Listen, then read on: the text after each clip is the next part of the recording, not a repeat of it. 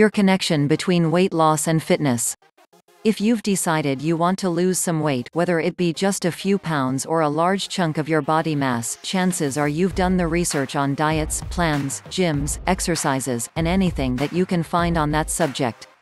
If so, you've probably seen that most credible sources will tell you that weight loss and fitness are strongly related.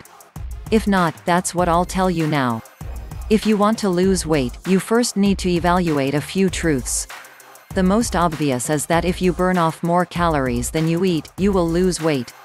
You can either choose to do no extra exercise and eat very, very little in order to lose weight, or you can stick to a plan that will burn off enough calories and allow you not to starve yourself. It's also important to note that overly decreasing your calorie intake can backfire on you because your body will slow your metabolism down in order to accommodate this adjustment in calorie intake. This will cause you to actually gain weight instead of lose it. The next fact is that a combination of water and oxygen leads to fat burning. Make sure that you are getting at least a half gallon of water every day. Your body will use this water when you exercise, and cause you to lose weight in a healthy way.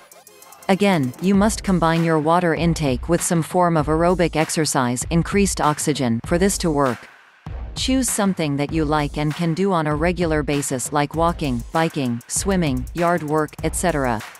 As long as you get your heart rate up a little bit, it's a good fat-burning exercise. Finally, consistency is the key when it comes to your weight loss and fitness plan. So many people jump into something quickly with the mindset that they will just keep up the pace for a couple of weeks or a couple of months and then they can go back to their usual life. In reality, your plan should be a lifelong commitment. Even after you lose the weight, in order to maintain your goal weight, you need to eat right and get some activity in. So, pick an activity that you enjoy or that you don't mind so much. Walking is one favorite. If you live in the city, you can actually walk part of the way to work, save on gym expenses, and not have to worry about finding time in your day to exercise. If not, no matter where you live, you can probably find the time to take a 20-minute brisk walk around your neighborhood. Bring a buddy along to keep you entertained and you'll see that the time flies.